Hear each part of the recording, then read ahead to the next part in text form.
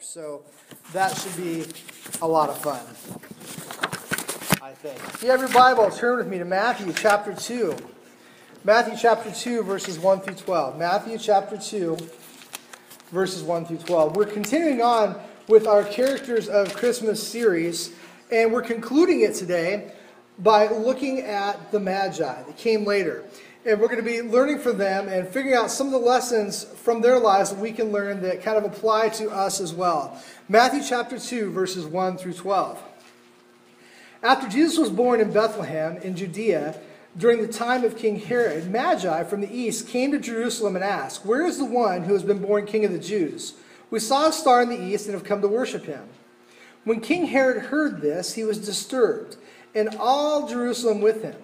When he had called together all the people's chief priests and teachers of the law, he asked them where the Christ was to be born. In Bethlehem in Judea, they replied, for this is what the prophet has written. But you, Bethlehem, in the land of Judah, are by no means least among the rulers of Judah.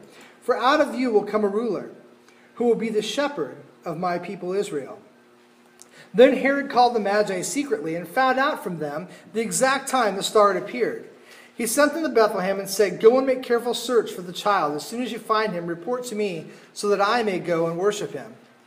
After they had heard the, the, the king, they went on their way. And the star they had seen in the east went ahead of them until it stopped over the place where the child was. When they saw the star, they were overjoyed. On coming to the house, they saw the child with his mother Mary, and they bowed down and worshipped him. Then they opened their treasures and presented him with gifts of gold and incense and myrrh. And having been warned in a dream not to go back to Herod, they returned to their country by another route. Christmas has just concluded, and I'm sure that there are some of you that are already beginning to rack your brains about what the perfect gift for someone on your Christmas list might be. Because everybody has this.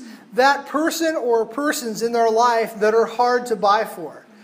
If you know that, you know exactly what I'm talking about. If you have somebody like that on your list, because there are different things that happen. There are people in your life that if they want something, they buy it. So if they need something, they just go get it. They don't wait for Christmas or wait for holidays, they just go pick it up. Or they're the impulse shoppers that if they see it, it's theirs. And they put it in the cart and they check out. And so it's hard to keep up with that. It's hard to keep up with what they have. Then there are the other people on your Christmas list that have absolutely no hobbies or no interests or anything that they like to do. And you know some of those people too. There isn't anything that really rings their bell. And so, in order to find something for them, it takes a lot of work. And by the time you're done, you half the time you end up frustrated and disappointed, thinking, oh, "I wish I could have done better. I wish I could have got something that would really they really would have liked this year." But it's a difficult thing. You look at catalogs and websites, you look at the stores and try and find just that perfect thing, just that perfect gift uh, to help them celebrate Christmas. And that's an, that's an exciting thing. It's a hard thing to do, though. The men in our story today, in Matthew chapter 2, the final characters of Christmas, the Magi, they had an unenviable task. They were going to see a newborn Savior and they were bringing gifts. Now, on paper, this seems like a difficult thing to do because you see, no gift would ever be good enough. Like John 1 says, Jesus was with God in the beginning. In the beginning was the Word, and the Word was God, the Word was with God. And He was there in the beginning. So anything that you would give Jesus would seem like a paltry gift. It would seem like a small thing. It would seem inferior and worthless.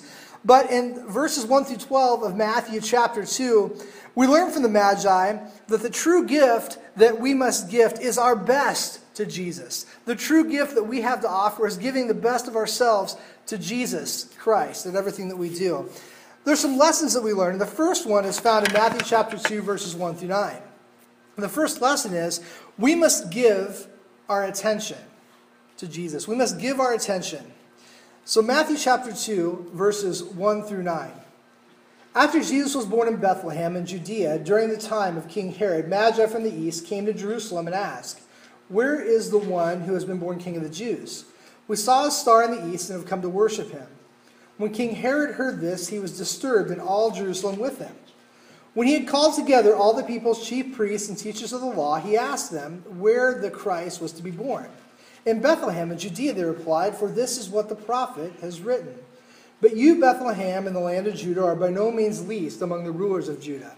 For out of you will come a ruler who will be the shepherd of my people Israel. And then Herod called the Magi secretly and found out from them the exact time the star appeared. He sent them to Bethlehem and said, Go and make careful search for the child. As soon as you find him, report to me, so that I too may go and worship him.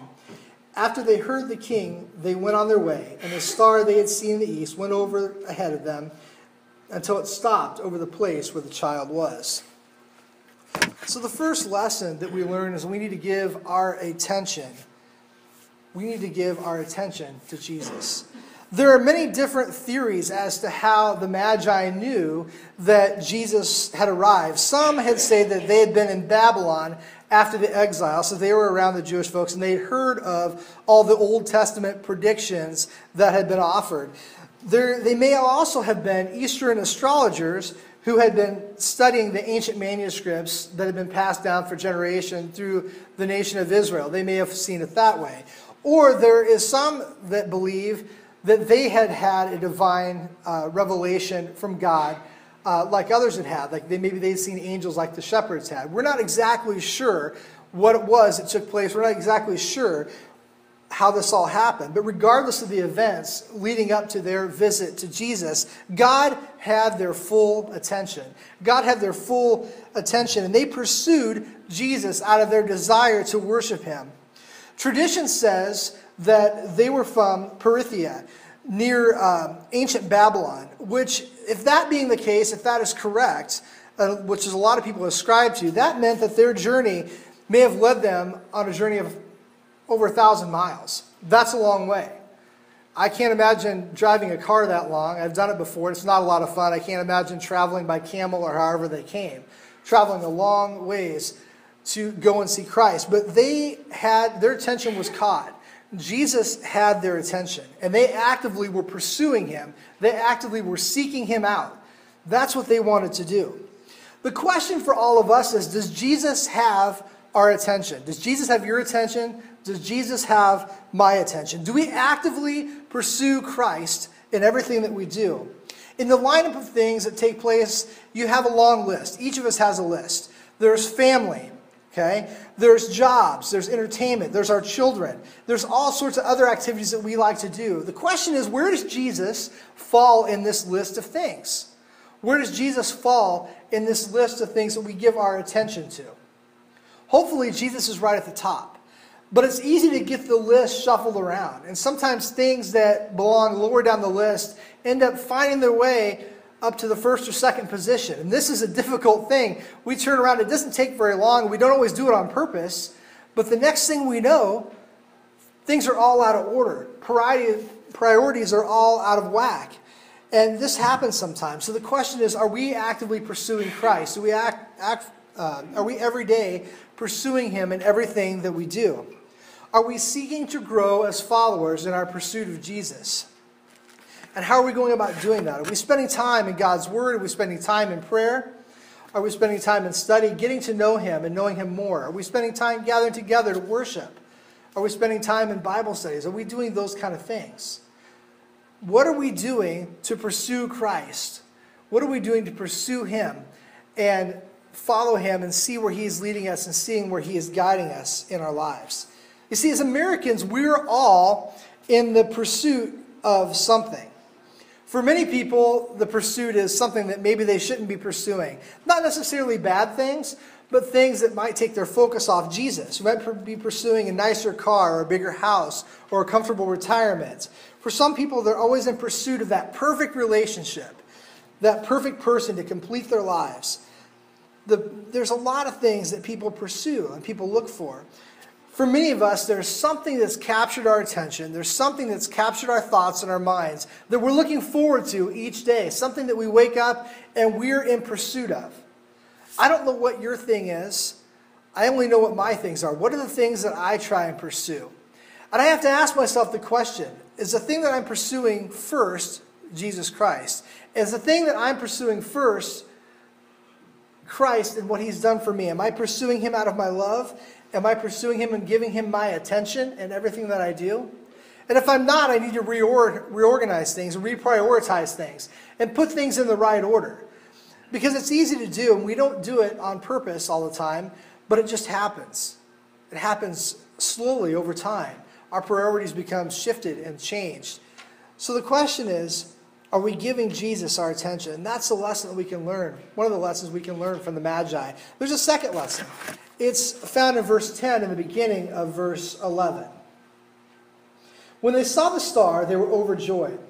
On coming to the house, they saw the child with his mother Mary, and they bowed down and worshiped him.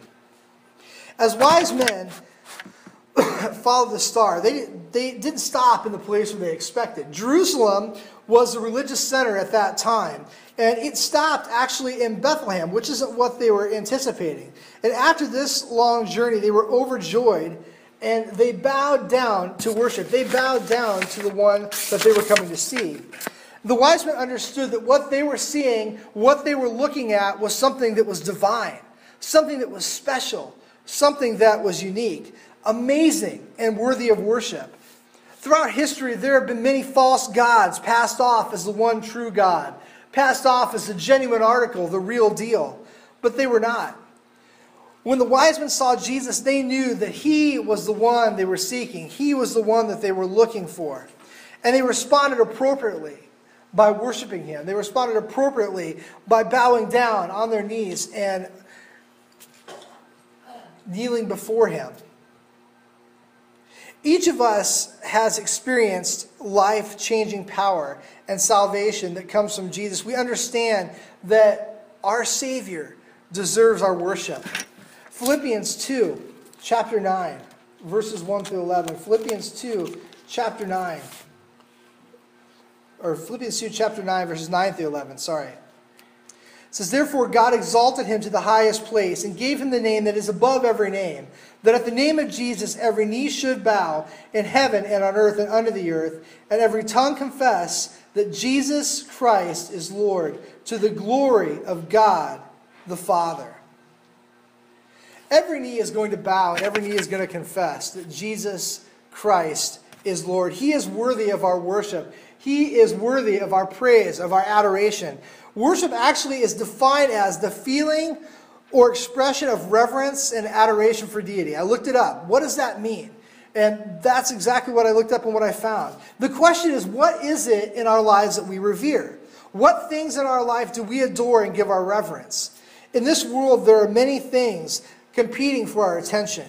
And this requires us to pause and give focus to the one to whom all praise is due, and may require us to move, remove from the throne of our life whatever it is that we have placed there. What is sitting on the throne of your heart? What is sitting on the throne of your heart today? What is that thing that's captured your imagination, captured your attention? What is it?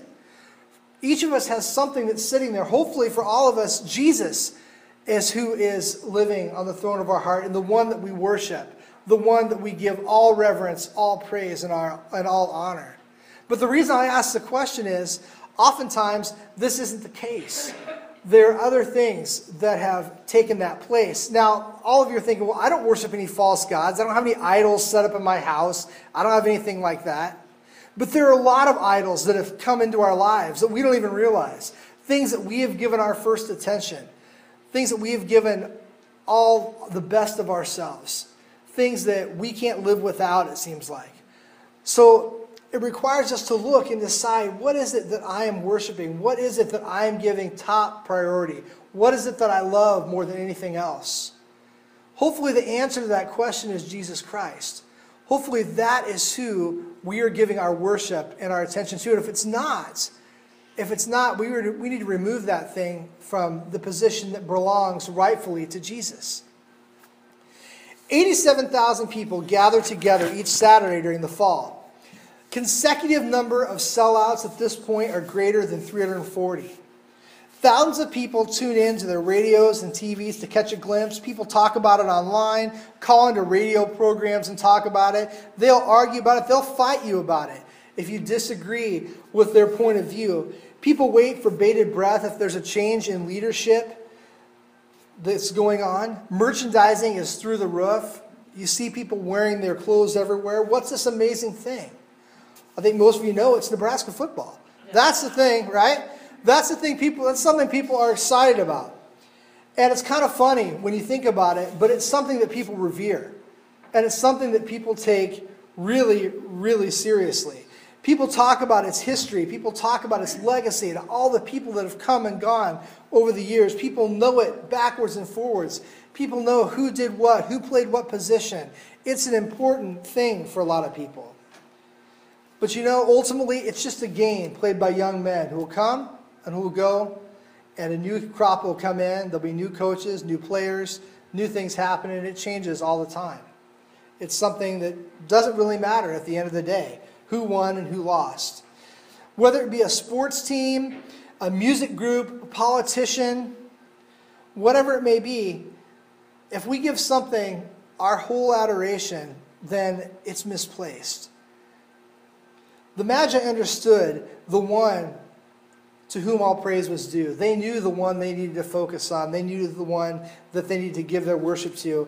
And it makes for a challenge for us. Do we give Jesus praise first, or is it something else? What is it that we worship? What is it that we desire more than anything else? That's the question. Hopefully, what we desire more than anything else is a relationship with Jesus Christ, one that's continuing to grow each and every day, one that we nurture and take care of because we love Him, because we want Him in our lives. There's a third lesson that we learn, a final lesson that we learn from the Magi, and that is found in the second part of verse 11 of Matthew chapter 2. It says, Then they opened their treasures and presented him with gifts of gold and of incense and of myrrh. And having been warned in a dream not to go back to Herod, they returned to their country by another route. The third lesson that we learn is we must give him our treasures. We must give Jesus all the treasures of our life. The wise men came and were giving customary gifts for the future king. That's what you do. When you go and visit a baby, you bring them gifts. That was customary. But this was a future king, and so they lavished upon him these gifts, what were due for that exalted position. Some scholars, I thought this was really interesting, some scholars have seen the gifts as symbols for Christ's identity. And after I thought about it, looked at it, it made sense. Now, I don't know if this is correct or not, but there are many scholars that kind of ascribe to this idea. And that is gold, which is a gift for a king. So we give gold to kings, and so the gold represented the fact that Christ was a king. So that's the first thing.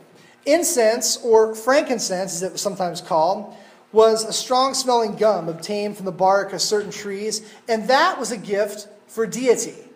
That was a gift that you would give to deity. So that was an important thing. So this acknowledged the fact that Christ was God in flesh, Emmanuel, God with us.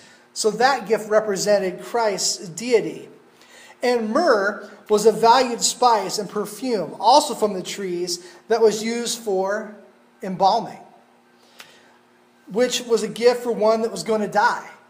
And so that was a gift that you would give to someone that was that was you were expecting to die. And so it was interesting that that gift was given to Jesus in light of the fact that he would later be crucified for our sins. Now, ultimately, we can't be sure of the reasons for each of the gifts that were mentioned in Scripture. We can't know that for sure. But we do know that they were valuable. We knew that they were precious. Even today, gold is a valuable commodity. It's something that's expensive. It's something that if you go to buy it, it will cost you something. It's a great gift to give. Frankincense. You might say, what is frankincense? Does it exist? I have a bottle right here. This little bottle of frankincense, which is like 0.7, 0.17 fluid ounces in this bottle, this is over $80 in this bottle. And no, it's not mine. I borrowed it but it's over $80 for frankincense. This is an expensive gift that you would give someone. This is, has value and significance. Even in today's economy, this is an expensive thing. I don't spend $80 on much of anything. This is an expensive deal to have. And myrrh, that was also a very expensive gift. It's expensive now. You can still purchase that too. And it also, it runs about the same price as the frankincense. It's very expensive for a very small amount.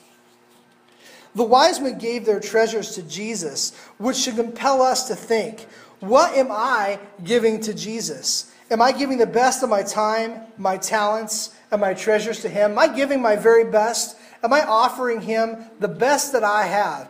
When I wake up in the morning, am I giving my very best to Christ? Matthew chapter 6, verses 19 through 21.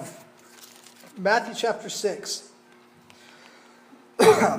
says, Do not store for yourself treasures on earth where moth and rust destroy, and where thieves break in and steal, but store for yourself treasures in heaven where moth and rust do not destroy, and where thieves do not break in and steal. For where your treasure is, there your heart will be also. So the question is, where are our treasures and where is our hearts? What is most important to us? We can tell by what we invest in. Hopefully, our main investment is Christ and our relationship with Him because Jesus is worthy of our very best. Jesus is worthy of our very best gifts. Jesus is worthy of the very best that we have.